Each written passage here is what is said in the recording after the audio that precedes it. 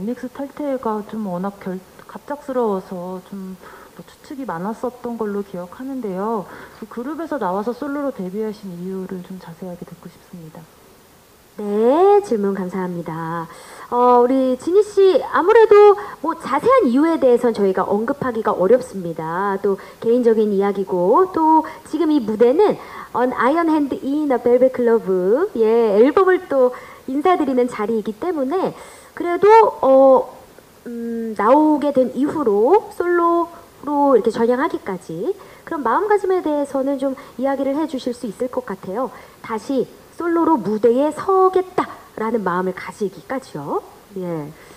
어, 이 부분은 이제 개인적인 이유로 말씀드리기는 어렵지만 이번에 솔로로 데뷔한 만큼 더욱더 열심히 노력하면서 활동하는 각오가 되어 있습니다.